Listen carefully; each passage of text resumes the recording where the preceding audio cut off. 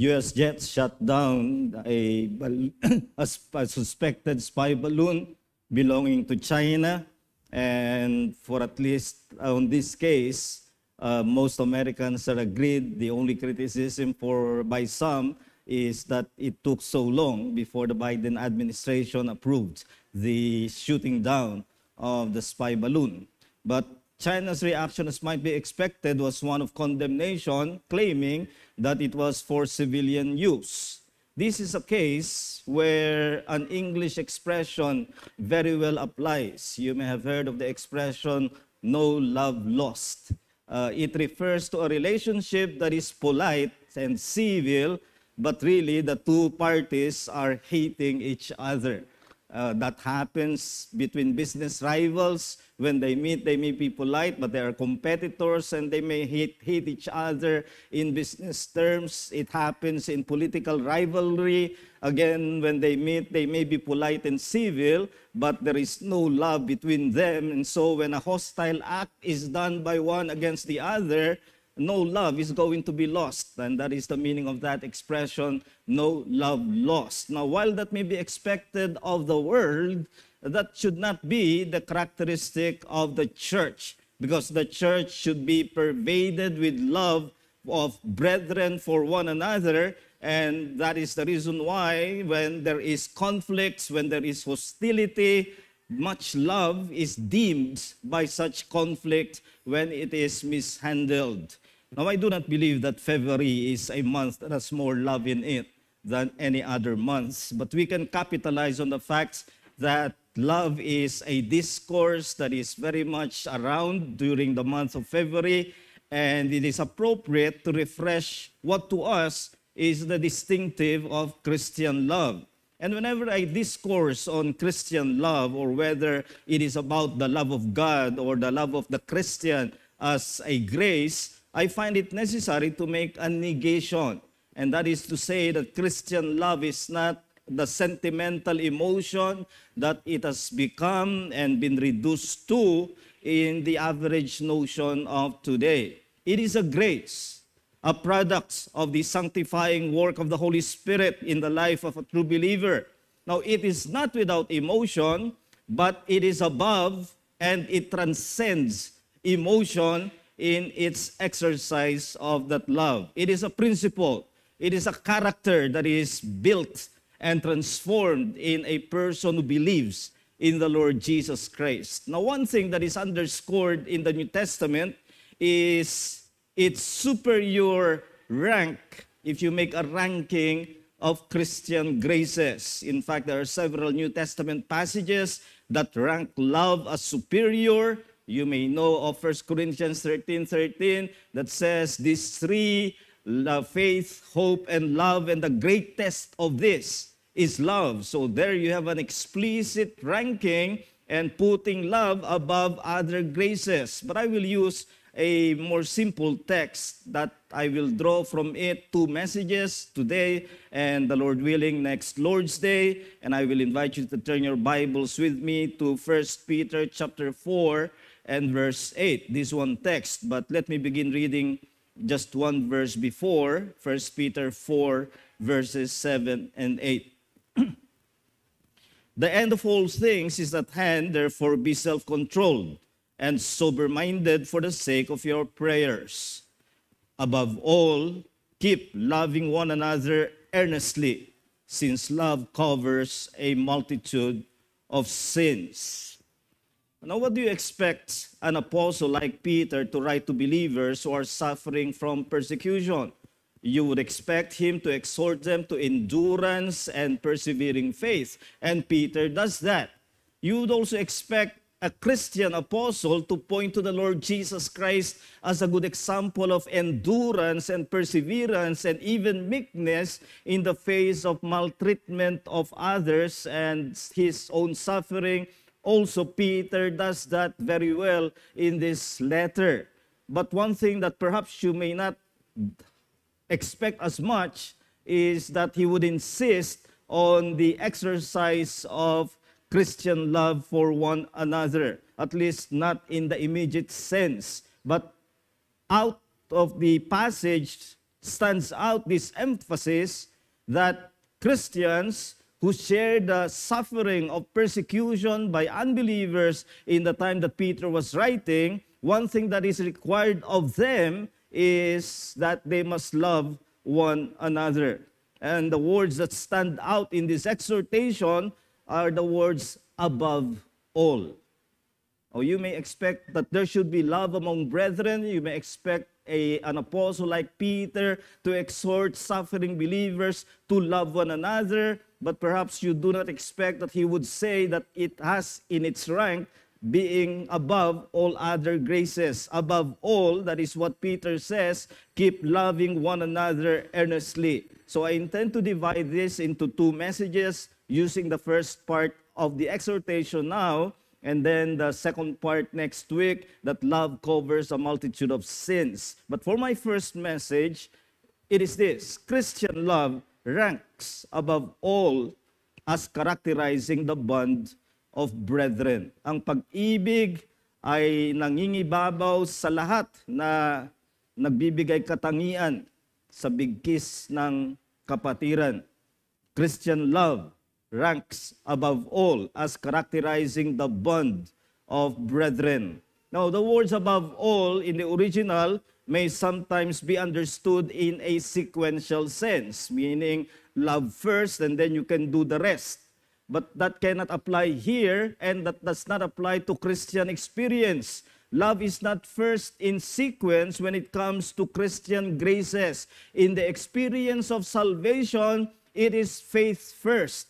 In fact, it is faith alone when it comes to justification or acquittal of a sinner before the judgment bar of God. It is not love that is required of you. And this is something that has a very subtle message from false teachers and cults and even mainstream churches who will insist that we need to love God, and that is, of course, the greatest commandment, and that is made to be the means of salvation when you love God, and that is wrong.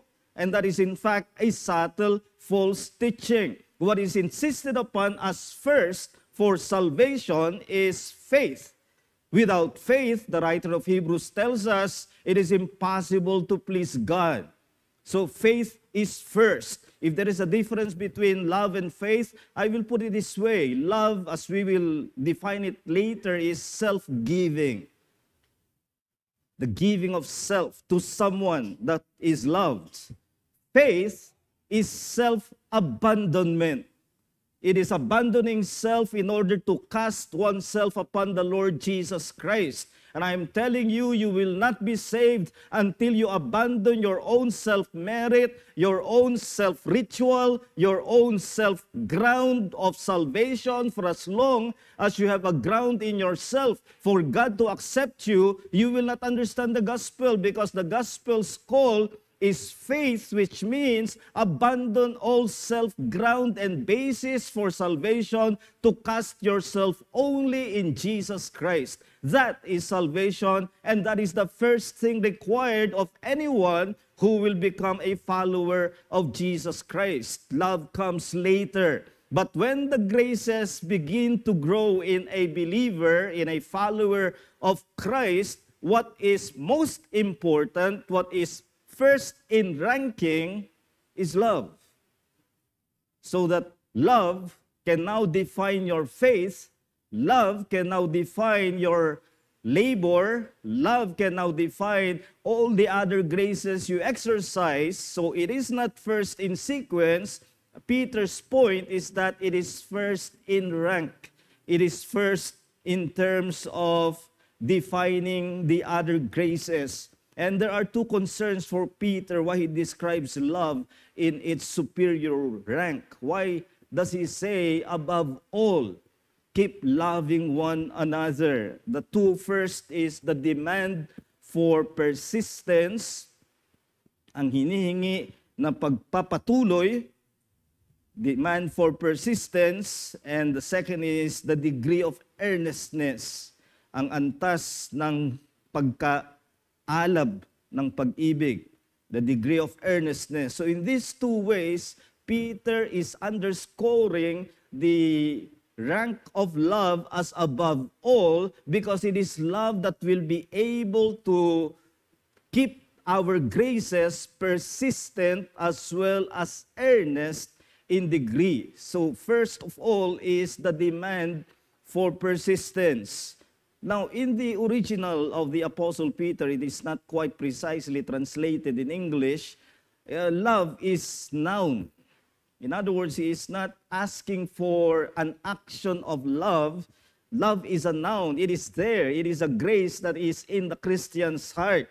The action word actually is keep having, keep possessing, or keep exercising. So, in other words, you have that love in your heart. If you are a true believer, the seed of love has already germinated in your heart because you are a follower of the Lord Jesus Christ. But now he is exhorting his readers keep having it. What does that imply? It implies the possibility that there can be situations when love will fluctuate and sometimes come to a point that is close to being nil, close to being absent. Much coldness can characterize a believer.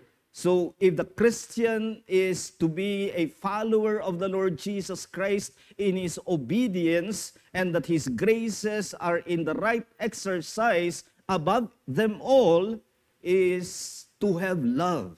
Without it, those other graces will themselves be deficient in the way we exercise them.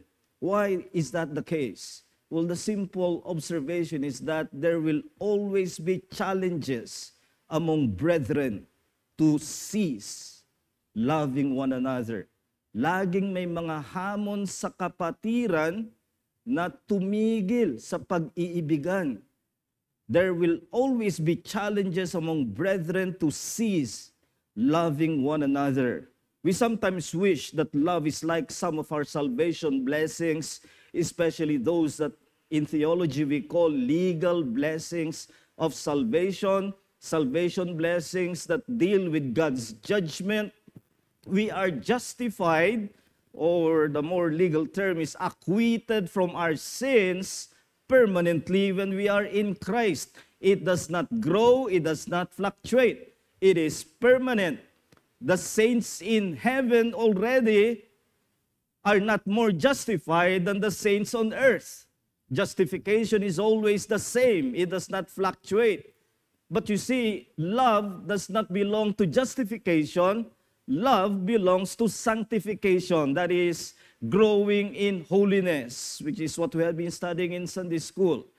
And growing in holiness, the very fact that we speak of growing means that the opposite can happen. We are not growing, and instead, we are even becoming deficient. We are decreasing in love, uh, in sanctification, and thus, love as a grace can decrease and in some cases even come to the point of being almost absent because of its coldness.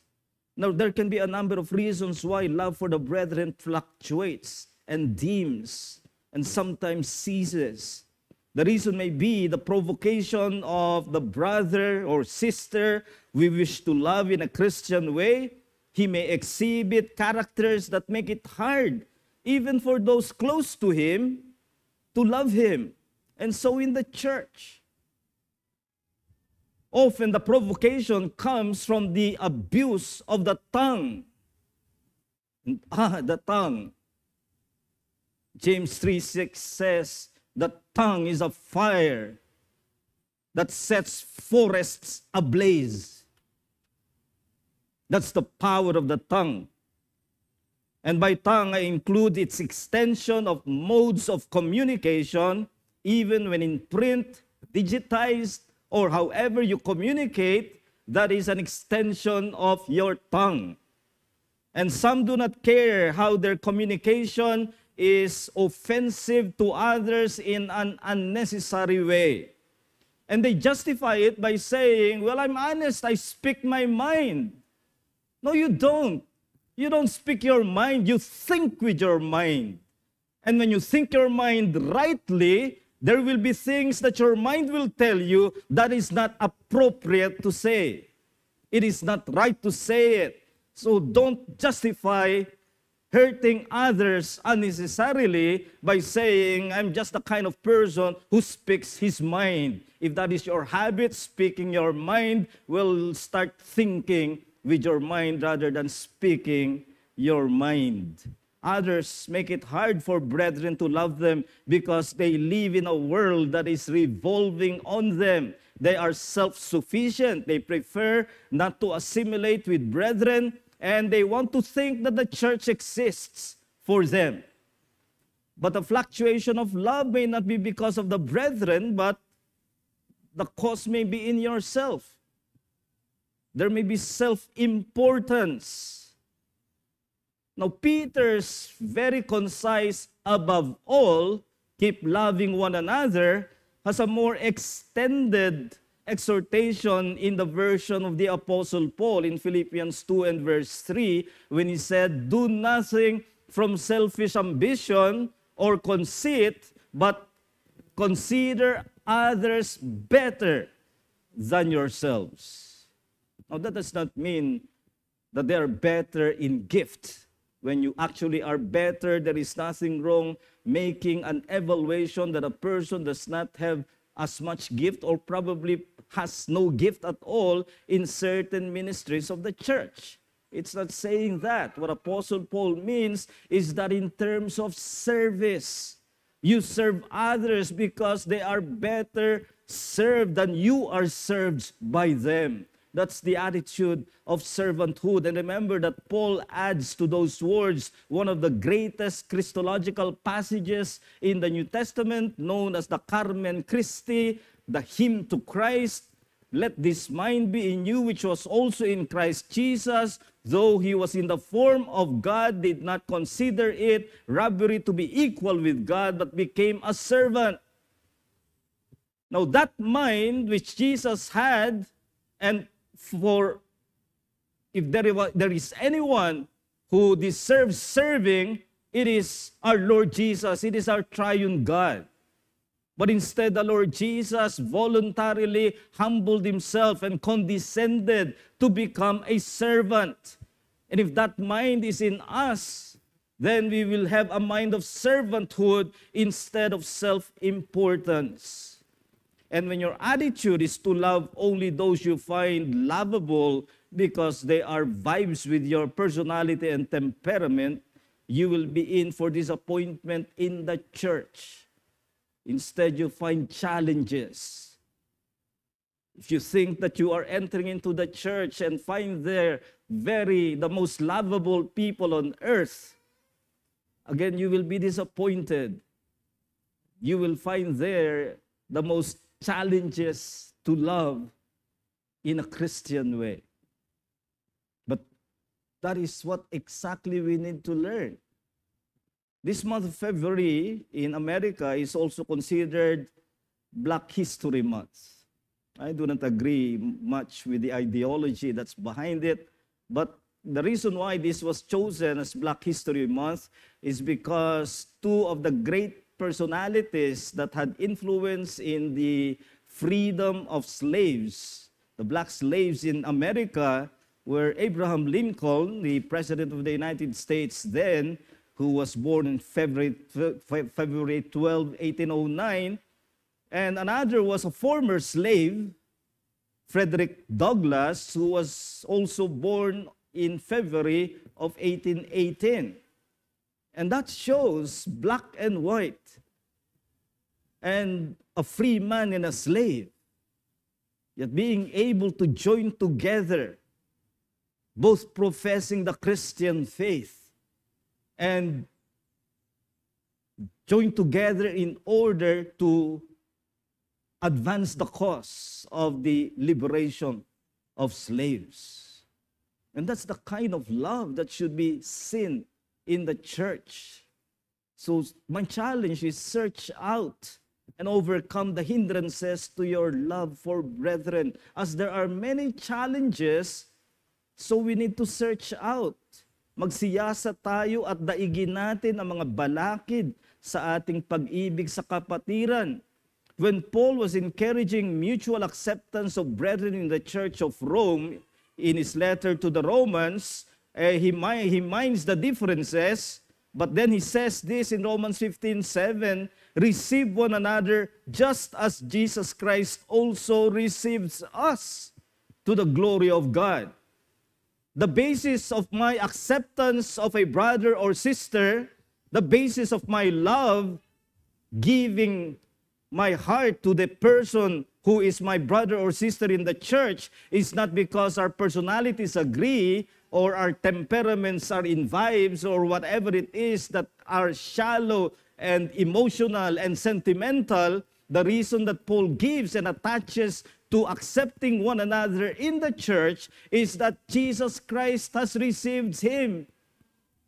Strong and weak are the differences that Paul has in mind in the church of Rome. Those who are knowledgeable and those who have little knowledge.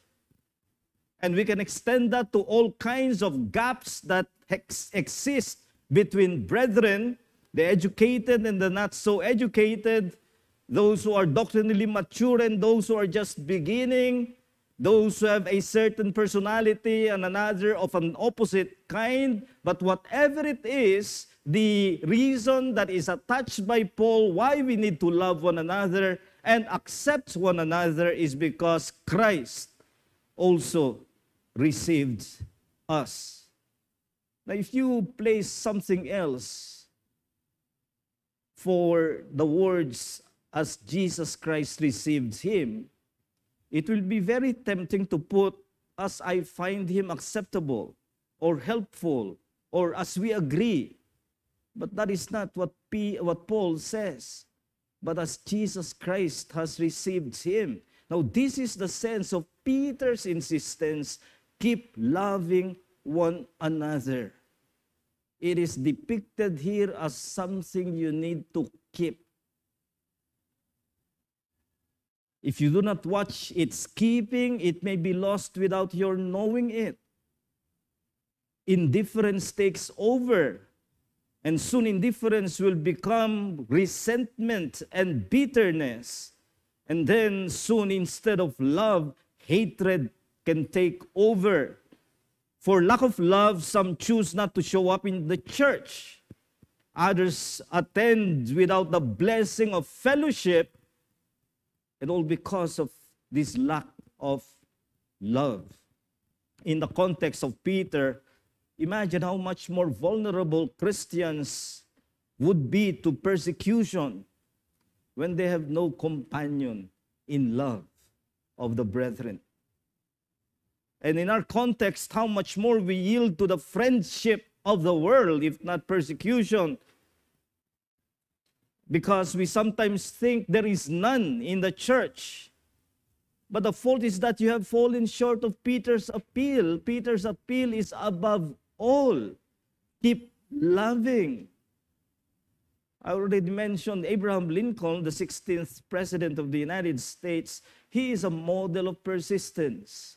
Whether you th- think of his political career, in most elections he, he participated in, he lost and then won the presidency. And when he was determined to liberate the slaves, there was so much opposition, it erupted into a civil war. And there were more Americans who died during the Civil War of 1861 to 65 than there were American fatalities in World War II. It was a bitter civil war between the North and the South, which owned slaves. But so determined was Lincoln that slaves are the equal of whites he had the emancipation passed on January 1 of 1863. That's persistence. When you believe something about your brethren, no matter how different they look, no matter how different they are in personality and temperament, no matter how disagreeable sometimes their behavior may be. there must be persistence. And only love can do it. Only love is the grace that will enable other graces to be exercised within the context of the church. That's why it's first. That's why it's above all. Demand for persistence. But there is a second reason, and that is the degree of earnestness. Ang antas, ang init ng pagkaalab ng ating pag-ibig. Peter is not satisfied with just the persistence of love, but take note, he attaches the word, keep loving one another earnestly. His word is the idea of intensity. It is the opposite of what we say just enough. What we Filipinos love to say, pwede na. No, Peter says it must be a love that cannot be satisfied until it can be felt and experienced by the one loved. It is often used literally of fire, and fire can be intense. You cannot be close to fire without feeling it, feeling its intensity of heat, until a quenching substance puts it out. Now, what is the quenching substance? In the context of the church, I'll tell you what, it's self occupation. Self occupation is the major quencher of fervent love for the brethren. Ang pag-atupag sa sarili, ang tumutupok sa init ng pag-ibig sa kapatiran. Now, love, as I've said by definition, is the outgoing of the heart to others you become others oriented. Now, this is true even of God. God decided in eternity past that He will create a people who will be the object of His love. And in order to show that love, He would send His Son. That is His self giving, the giving of His Son. And He can give no higher gift than that of His Son. And that is why there is no salvation outside of union with the Son of God, the Lord Jesus Christ. If you are looking for salvation in your church, in your works, in your morality, you're damned. Salvation is in the one God gave for the salvation of sinners, and that is the Lord Jesus Christ. But that is love, it is self giving the giving of oneself to others.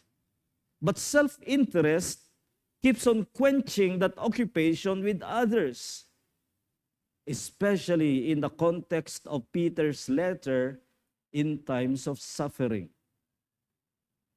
You would expect self interest to say, I have enough of suffering in my hands. Why would, why would I add other suffering? But that is the very characteristic of the church. Bear one another's burden. It's not saying that it's when your burden is bearable, you can probably take some of the burdens of others and add it on your own as long as they are bearable. No, it says, bear one another's burden the attitude of I will be bearing my burden first before I think of others, that will be challenged by Peter's words again, above all. And that includes above all your self interest. But the mantra of the world is self first. The greatest love of all is to love yourself, they say. Now, this is something that this word of Peter will challenge. We would probably easily go along with Peter's word, love one another, if he had not added the word earnestly. But he does. We would have loved if it is according to our low standard of what it means to love. But Peter says, no, during times of suffering, during times of persecution and maltreatment, you love one another earnestly. Now, you may say that is impossible, but that is exactly the evidence that the Lord Jesus has transformed us by his cross. There is much of the cross in the first letter of Peter, and it is presented by Peter as an act of redemption. Redemption in the sense of liberating by paying a price, and the price, Peter says, is more precious than gold. It is the blood of the Lord Jesus Christ. 1 Peter 1.18. But then he follows it with the subsidiary importance of not only the ransom of sinners, and my friend, there is no other redemption than in the blood of the Lord Jesus. But for Christians, Peter adds, it is also an example of suffering, so that you may follow where he has walked. You must walk even as he walked. And he is talking about the fact that when he was reviled, he did not revile in return and left us an example to follow. Now, that is what is expected of us that kind of earnestness of love. Not just love that is enough, but love that is fervent. On the third day of the pastor's conference last week, a fire gutted some buildings in Cubao. We had a dinner with association pastors, and we were joking that uh, the preachings were so on fire and it transferred to some of the buildings. But you can see what fire can do. It gutted the structures, which fortunately were abandoned structures. The fire of love by the mystery of Christ's influence does the opposite. It does not consume, it builds up. But like fire, it is fervent. You can feel the heat of love that is truly earnest. And that is what Peter is challenging his readers to exercise. And that is what I'm challenging you.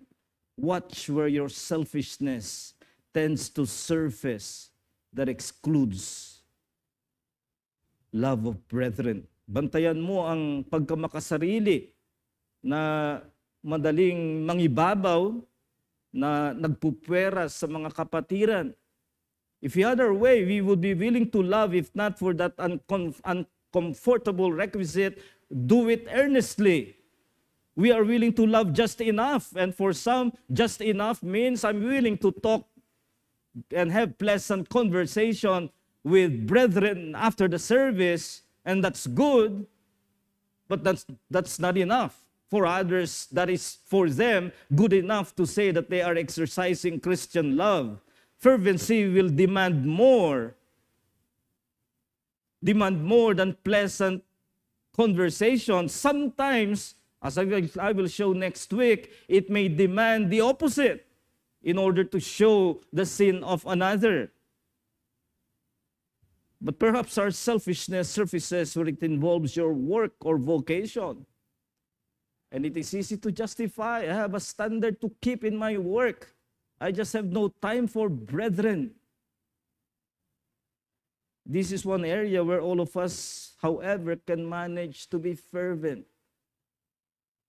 This is exactly the same word used in Acts 12 and verse 5, when Peter was imprisoned under the persecution of the Sanhedrin, it was said in Acts 12, verse 5, earnest prayer was made for him by the church. It's the same word, earnest. So never yield to the excuse, there is nothing I can do. I am too occupied. If you cannot pray for brethren, you are indeed too occupied in a sinful way. when there is no time to pray. And that is something that we need to search whether selfishness is surfacing in our love. When you are hardly in the assembly, do not tell me that you have fervent love for brethren. Or when you are in the assembly, but hardly make it your business to know the brethren, do not tell me that you have fervent love for brethren. We can draw no better example than the Lord Jesus, whom Peter uses as the supreme example of suffering and yet loving. He left us an example that we should follow his steps. Now, we will have all our bouts with selfishness. Opposite to that is the plea above all, keep loving one another earnestly. And there are so many ways to demonstrate that. We are familiar with the songs of John Newton. The most familiar would be Amazing Grace. Some sermons of John Newton are preserved, and we can read of them, a few of them. What many do not know is that what is left most of John Newton's ministry are his letters, personal letters. And they have been collected. There are many of them. He would write to different individuals, deal with them in wise counsel, sometimes rebuke them in a very affectionate way, sometimes teaching them. And in those days, we're not talking here of John Newton on his laptop uh, typing very vigorously many letters. These are all handwritten. And yet he produced so many. That's love.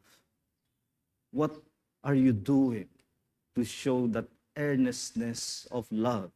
And in order for us to really love earnestly, Again, there is no better example than the Lord Jesus Christ, and that is why we need to fill our hearts with that love of the Lord Jesus, so that our love for the brethren is not the ordinary kind that you see in the world, but the kind of love that you would expect Jesus to extend to his people. So our response is to plead in the words of this song Jesus, thy boundless love to me, no thought can reach, no tongue declare. Oh, knit my thankful heart to thee and reign without a rival there. When the love of Christ reigns in our hearts, it will be seen and displayed in our earnest love one for another. Let us sing, Jesus, thy boundless love. Our great God and gracious Heavenly Father, May we never, never lose the wonder and awe that we should be the objects of your love. And you have shown that love in the giving of your Son. Now your Son has left us an example. We pray that our friends may realize that on the cross of the Lord Jesus Christ, there is ransom, there is redemption that delivers from sin at the cost of the price of the blood of the Son. And yet, for us, his followers, it leaves us an example of what it is to love. And may we heed the words of the Apostle Peter that such love expected of brethren in the church is not in the marginal side of our exercise, but Peter says, above all, above all, keep loving one another earnestly. It reminds us how often fluctuating love is. And that is because there are so many challenges among the brethren on this side of heaven when we still struggle with our own depravity. And that makes it hard to exercise Christian love. And for that reason, we settle for less. We call it love when it is just civility and politeness and courtesy. And it is not that love that is expected of Christian love, but it is a love that should be experienced because it is a love that calls for earnestness. like fire. It is something that must be felt in its warmth. And we pray that such should be the love to pervade in this church. But we confess that we often are falling short of earnestly loving one another. Many times self occupation takes over, our self interest ranks first. Forgive us for this. And help us, Lord, to have that love Jesus exemplified. And let that love be the love which is able to seek and desire the good of our brethren. So help us, Lord, to sow love that we may be identified as indeed followers of the Lord Jesus. For you have made this the identification of those who belong to you, that they love one another. So we pray that this may be a grace that will grow and that will that we will not be satisfied until we know that love is the ranking grace that defines our other Christian graces. Now may the love of the Father, the grace of His Son, the Lord Jesus, and the fellowship and bond of the Holy Spirit be with us all evermore. In Jesus' name we pray these things. Amen.